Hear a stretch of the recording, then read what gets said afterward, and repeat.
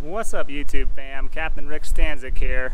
I'm here at Bud and Mary's and I want to give you a little uh, tour of some of our accommodations here and today we're going to be looking at the Aqua Lodge houseboat. Check it out right here behind me.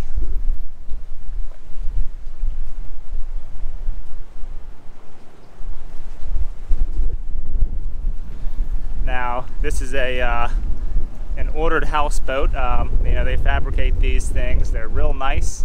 Um, we got it on the inside of the marina basin here, as you can see.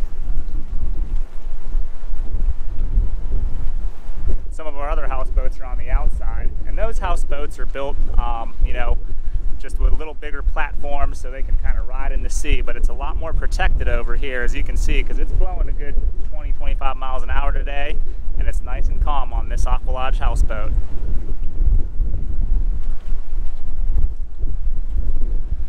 So we're gonna go take a look inside. I'm gonna show you what it looks like, uh, what it's like in there. It's a real cool place to stay. Um, you know, you wake up, got a cool view of the ocean and uh, the marina basin here, everything going on in Bud Mary's in the morning. If you're coming here to fish, what could be better?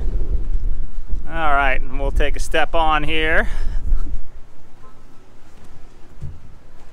And you got a nice little uh, deck area right here. You can sit here at night, Get a good view of the bay and the sunset right there.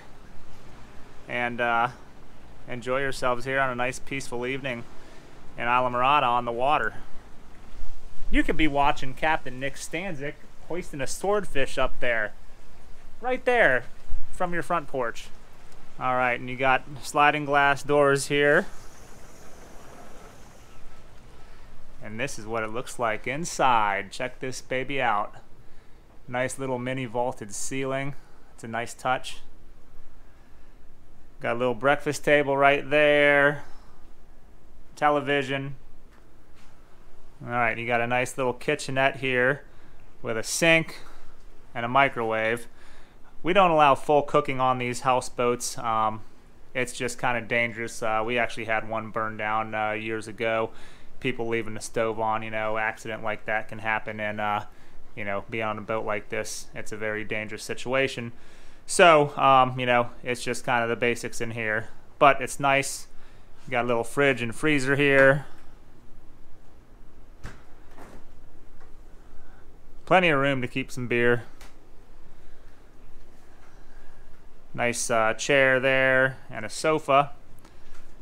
Now you can just imagine chilling on this thing.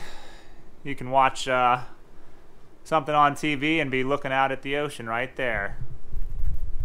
Not a bad setup at all. Alright, and so here's the sleeping quarters. You got a nice, uh, I think that's probably a uh, double bed with a window looking out to the dock there. Here's your bathroom, sink and toilet. And a shower stall.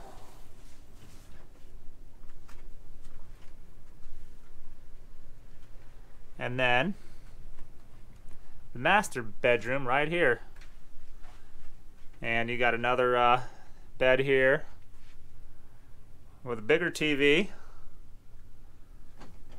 and some closet space.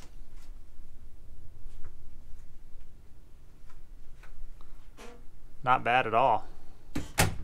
Plus you got another little uh, mini deck out here with a view of the ocean. And you can check out what's going in the barn at night too there sometimes.